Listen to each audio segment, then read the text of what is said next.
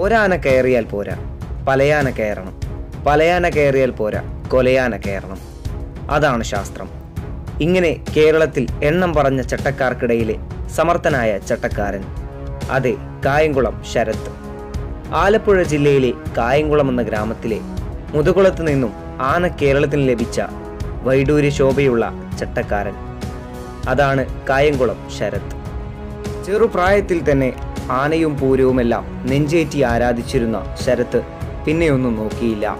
തന്റെ ഹൈസ്കൂൾ പഠനകാലത്ത് വെച്ച് പഠനം നിർത്തുകയും നേരെ ആനപ്പണിയിലേക്ക് ഇറങ്ങുകയും ചെയ്തു. വീട്ടിൽ നിന്ന് ആദ്യം കാര്യമായ എതിർപ്പുകൾ ഉണ്ടായിരുന്നുവെങ്കിലും പിന്നീട് ശരത്തിന്റെ ആഗ്രഹത്തിന് വീട്ടുകാർ സമ്മതിച്ചു. അങ്ങനെ മുതുകുളം വിജയൻപിള്ള ചേട്ടന്റെ കീഴിൽ പണി പഠിച്ചു. ആദ്യം പറഞ്ഞതുപോലെ ഒട്ടനവധി കയ്യിലിരിപ്പും ദുശീലവുമൊക്കെ ഉണ്ടായിരുന്ന ആനകളെയാണ് ശരത്ത് അഴിച്ചു വഴി നടത്തിയിരുന്നത്. ഇടക്കായി അദ്ദേഹം അധോലോക രാജാക്കന്മാരുടെ താവളമായിരുന്ന ബോംബെയിലേക്ക് വണ്ടി കയറി. അങ്ങനെ അവിടെ നിന്നും തിരിച്ചു വന്ന് നേരെ ആനപ്പണിയിലേക്ക് തന്നെ ഇറങ്ങി.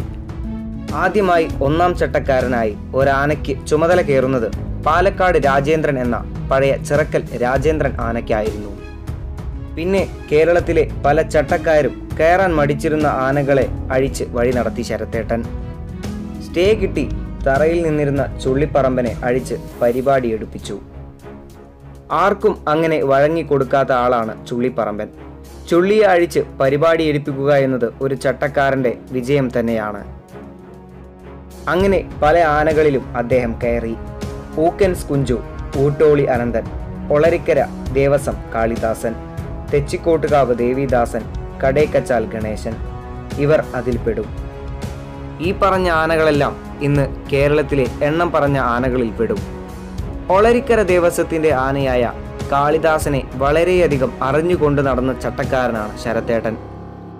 ആനയെ തളക്കുന്നതിലും ഒരാന പ്രശ്നമുണ്ടാക്കിയാൽ അതിന് ഞൊടിയിടയിൽ പരിഹാരം കണ്ടെത്തുകയും ചെയ്യുന്ന ചട്ടക്കാരൻ തന്നെയാണ് ശരത്തേട്ടൻ. എടുത്തു പറയാൻ. അത്ര ഫാൻസുകാരോ താഴ്ത്തി പറയാൻ ഹേറ്റേഴ്സോ ഇല്ലാത്ത ആനക്കാരിലെ ഇരട്ടച്ചങ്കൻ. ആശാന്തയിലെ ശിഷ്യൻ? മോശമാകില്ല. ഇന്ന് കേരളത്തിലുള്ള ചട്ടക്കാർക്കിടയിലെ സമർത്ഥനായ ചട്ടക്കാരനാണ് ശരത്തേട്ടൻ. ശരത്തേട്ടന് എല്ലാവിധ ഭാവുകങ്ങളും ആശംസകളും നേരുന്നു.